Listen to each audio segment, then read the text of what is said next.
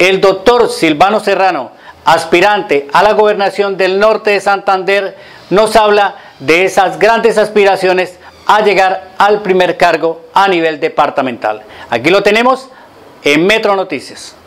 Estamos avanzando en la posibilidad de llegar a todos los municipios de norte de Santander. Por segunda vez hemos hecho el recorrido para poder llegar a las juntas de acción comunal, a las asociaciones de mujeres, cabeza de familia, conversando con los concejales. En esta ocasión en la caravana navideña de las oportunidades, llevándole una sonrisa a todos los niños, a las niñas de norte de Santander, teniendo un detalle especial con todos los presidentes de las juntas y las asociaciones de mujeres.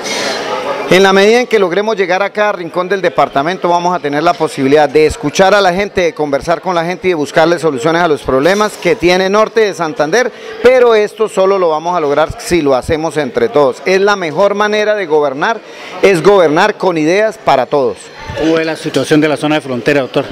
Bueno, la zona de frontera tradicionalmente ha tenido unas dificultades especiales. Hoy con el cierre de frontera, con todo el proceso migratorio, requiere de que el gobierno nacional, como lo ha venido haciendo en estos últimos meses, asuma una tarea eh, fuerte y contundente de poder atender a la población de venezolanos que está llegando a Cúcuta, de poder brindarle una atención humanitaria, pero adicionalmente que pueda trascender este problema a los organismos internacionales para que puedan llegar recursos que permitan activar la economía de esta región y ese que aparentemente es un problema se convierta en un potencial para lograr generar oportunidades no solo para los venezolanos sino para todos los norte santanderianos.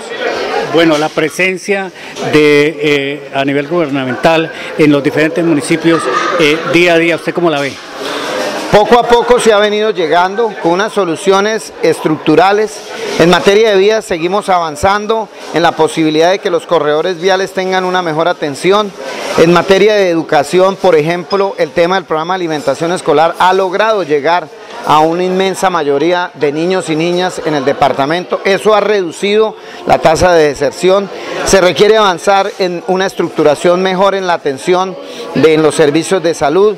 En materia de deporte y recreación yo creo que se ha hecho una gran inversión sin historia en norte de Santander y en la ciudad de Cúcuta. Se han arreglado muchos parques, muchos centros deportivos, canchas. Se ha dado un, un vuelco a lo que tiene que ver con la infraestructura deportiva de norte de Santander y se están trabajando proyectos estratégicos como el Centro de Innovación y Emprendimiento, como la reactivación de la zona franca, la posibilidad de que todos nuestros municipios tengan una solución definitiva en tema de suministro de gas, el mejoramiento de la infraestructura de agua potable y saneamiento vacío. Yo creo que quedan muchas cosas por hacer y la tarea nuestra es lograr identificar esos proyectos prioritarios y estratégicos que van a ser las ideas para gobernar entre todos.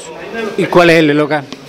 más oportunidades para la gente de norte de Santander. ¿Cuál es el mensaje de Navidad? Un saludo muy especial para todas las familias de norte de Santander. Que esta Navidad esté llena de mucho, mucha paz, amor, integración y que el año nuevo, el 2019, nos depare mucha felicidad y que nos permita hacer realidad todos nuestros sueños.